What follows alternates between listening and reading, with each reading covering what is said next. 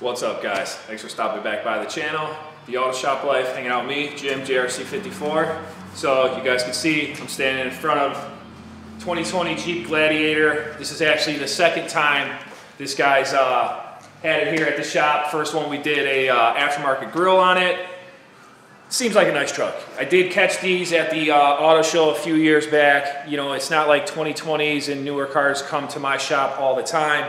But running through it, I still got mixed feelings about it. You know, I like the body style. You know, they probably could have put a better powertrain in it and all that stuff. But customer wants to do a leveling kit. He's going to get some 33s for it. We're going to find out if 33s fit with just a leveling kit. We talked about it. He's getting the tires through someone else, I don't know, maybe Sears or Tire Discount, wherever he's getting it from, but he wants me to install the leveling kit. So I'll figure take you guys with for the ride on it, see what we got to do. Never really done a leveling kit on the new Gladiators. We'll see what we can do on it. Check it out. Shut up and sit down.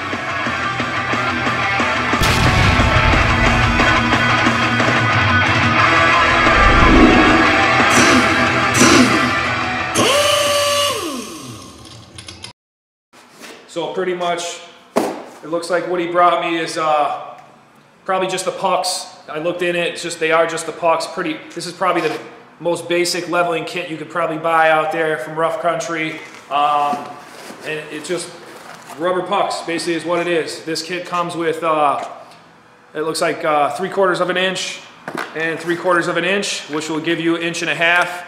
You know, plus the isolator that's already on there. You know, you'll have to put that in there. I did kind of just sifter through the instructions here, but it looks pretty typical stuff. You know, drop the link, um, any kind of brake line that's in your way to kind of drop it down and all that, get that front spring out, pop these up in there, and then, you know, that'll give you your inch and a half on both sides. So we got one box. Pretty much all it came with is two pucks, same box here. Uh, try to leave part numbers to this kit down in the description. But we get this thing all set up. I got the boring part done, pretty much rack arm under it. Maybe get a quick measurement before and then uh, pull these tires off and we'll get measure, get these taken care of and measure it afterwards. Getting a quick measurement of the suspension before. Let's see how high we stand from the ground to the fender. We'll call that around 37. So three foot, one inch. You can see we're at 37 mark. And this thing, I, I did rack it, so the suspension's not down as far as it should be, but you get a pretty basic idea looking at this thing. I kind of like the white, but you could definitely tell that the back is a lot higher on these. You know, pretty much for the payload when you load these things up, if you are loading them up. But the back sits about, you know, we could call that 39 or whatever. You guys are looking at my angle, and I'm kind of measuring it from, you know, this body line here.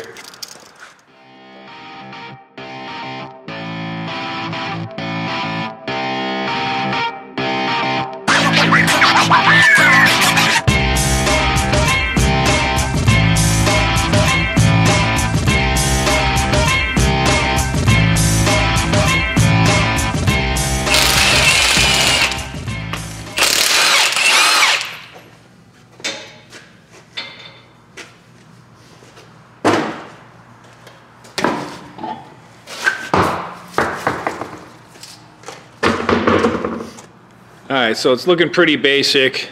Um, you know, obviously you'll want to support the differential. Looks like we're going to be disconnected the link here. Uh, nothing else really hindering us from dropping at least the driver's side. The driver's side should be the easier side. Disconnect the shock. Uh, maybe we'll disconnect the uh, lines here so we don't stretch them out depending on how far we got to drop it down. Make sure all our lines got free. But I'm just gonna go ahead and get at this thing, get the screw jack, support this uh, front end, and then just start pulling these bolts. But I could already tell now, being a brand new truck, not having any rust on there, this shouldn't take us too long either. So 10.50 in the morning, we're starting this. Start off by pulling this link, pulling the shock, see how far we get this front end down, get the front end supported. 18 millimeter on the link, both sides of it. Drop the link, Drop the nut.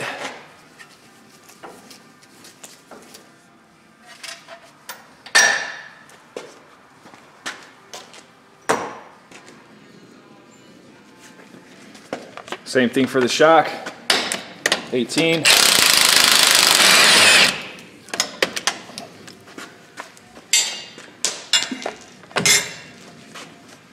Keep dropping all the hardware.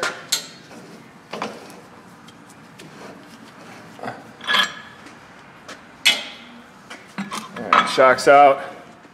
Next, I'm going to take out this 10 millimeter here to get these some slack on these lines and the vent tube for the differential.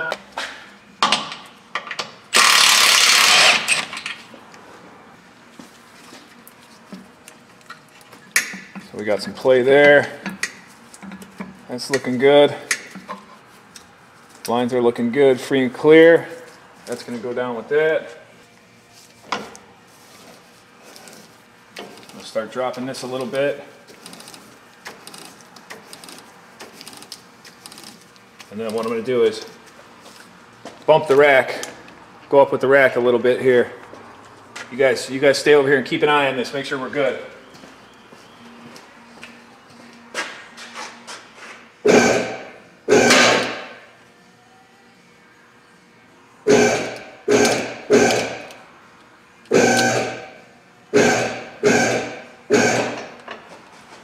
All right. I can see the load came off of it there. Probably have to pry down a little bit. The spring is becoming loose. This is probably going to be enough here in a second. Let's drop down a little bit more. I'm probably going to use a pry bar now. Just pull on it and then walk this spring out of this way. You guys get a better shot, better view on this side. Let's see, what do we see here?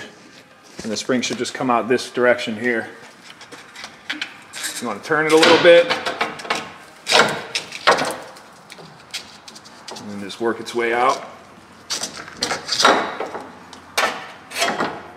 And like I said, the driver side is probably going to be the easier side. Pull the isolator out. We are going to have to snip off these uh, little nubs here. And then basically get the kit, pop the two in, and put the spring back on. So we got the spring here. We got the two spacers here. And that's, the isolator is just gonna sit on the bottom here. Like I said, we're gonna cut off these nubs. Some side cuts here, just cut these flush.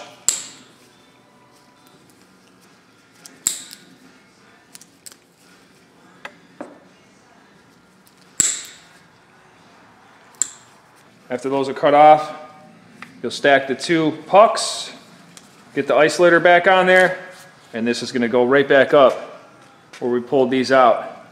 All right, so here we go. So I'm anticipating I'll probably have to uh, pull this uh, front end down a bit when we do this to make up for the extra room. So I'll go ahead and get this screw jack out of the way. Looks like it's easier to put them up one at a time here. Get them around the bump stop. That's one. There's two. And then the isolator is gonna go last here. And then we'll just have to work the spring back in. Now the spring does sit, you know, a certain way on the perch here. You gotta make sure that, you know, the end of it does match up with the perch. But first you basically just wanna get it up in there. I'm gonna have to pull down on, once you get it in, you wanna just turn it and get the bottom sitting where it needs to be. Show you guys a close up of that. You can see the bottom, you know, line up with the end of the perch there where that's supposed to sit. And then just make sure the top's lined up also. Get our screw jack back under it.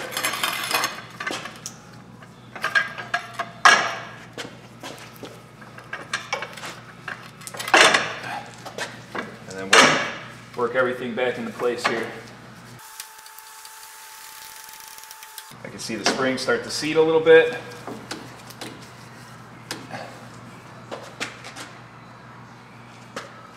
We'll just keep going until we get everything back in place.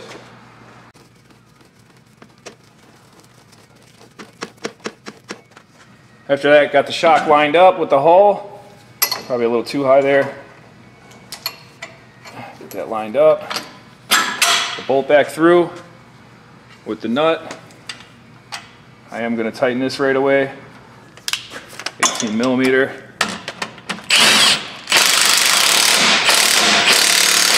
That and secure. We'll do the same with the link.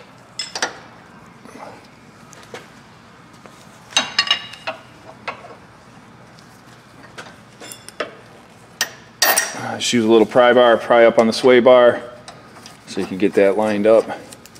Tighten in there.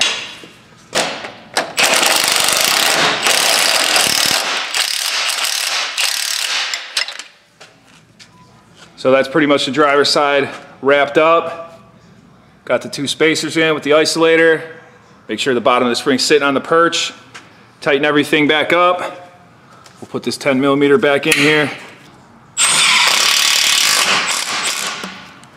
Everything back in place, secure.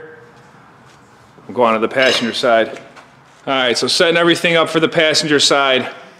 This side is gonna be a little harder because you got the track bar, you know, the sway bar's a little different on this side with the link and all that stuff. Plus there's less, less travel on the passenger side of these Jeeps, but we're gonna see what it is.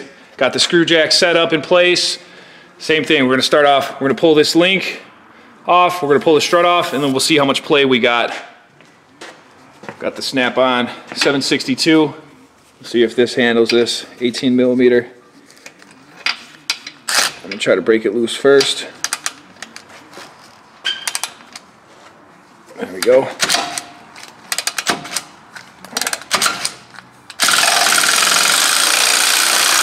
Little bit of a struggle. Crack it loose first. Get it out, no problem here. Make sure this the little nut doesn't fall through. All right. Get this shock taken care of.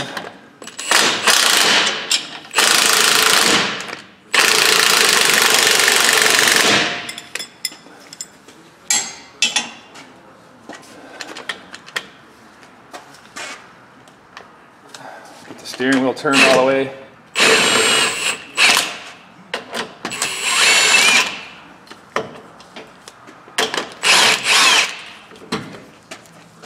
Millimeter up here, just for added safety.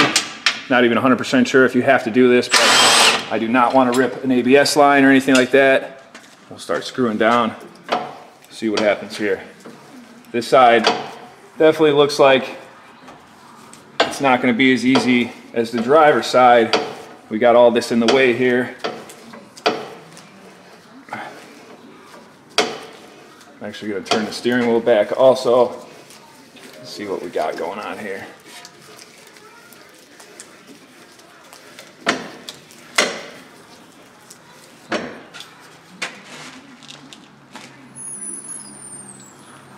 All right, bump up the rack some. You guys keep an eye on it.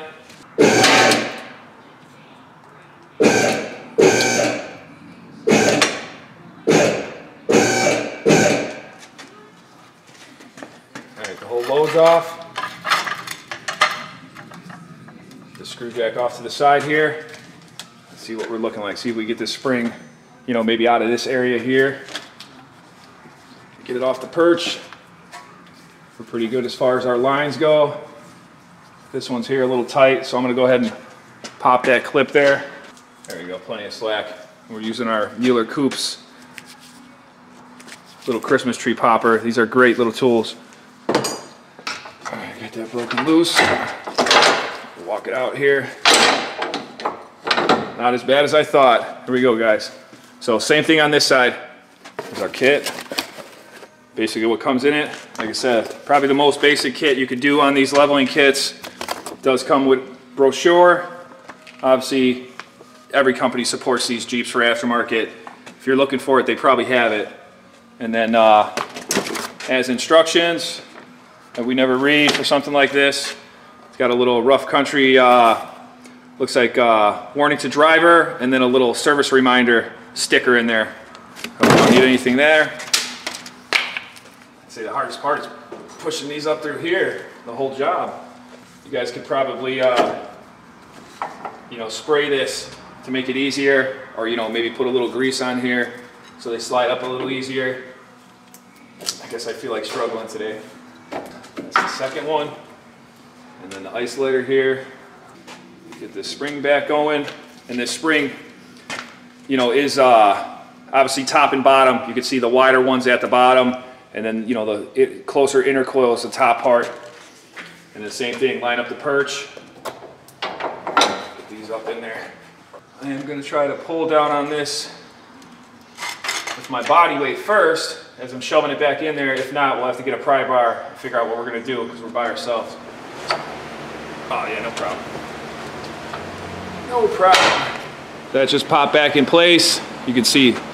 And then I'm just gonna go ahead and uh, tighten the link up, tighten the shock up. We're good to go.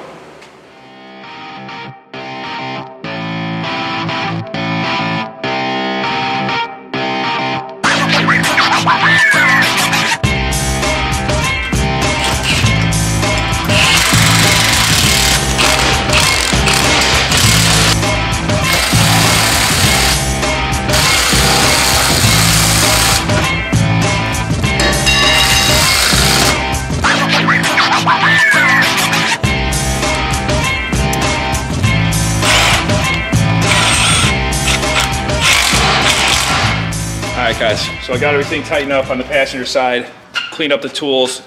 Just pretty much, I made sure all the bolts I loosened were tight again.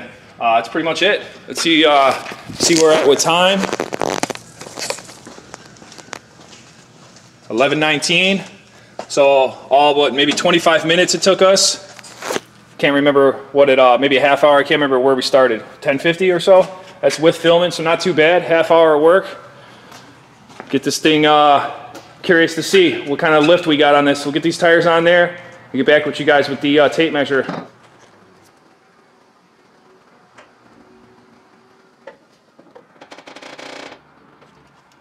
All right, so let the Jeep down. You guys just got to remember too, in doing this kit, like I said, this is probably the most basic kit you can get for these. Um, you know, your front shocks only have so much travel. I think there's an extra, you know, three inches of travel or so with the stock suspension. So adding an inch and a half, obviously, you know, we're only going to have about another inch and a half lift of, uh, you know, actual play in the in the front shocks. But this before the front end settled. Here's the after measurement, and that did pretty much bump us up exactly, you know, an inch and a half. We're at 37 before. We're almost at 39 now. I think once it settles, we probably won't even get a full inch and a half out of it, but you know, it definitely did level it out. I'll take this thing for a ride, show you guys, you know, and after the front end settles and all that stuff. There's passenger side. You know, pretty much 39. Where I'm looking at this side sitting up a little higher, but you know, like we said, we got to have the get this thing for a test drive, have it settle. So here we go after a quick test drive. But as you can see, we sure do have a lot more clearance. Matches the back now, leveled it out.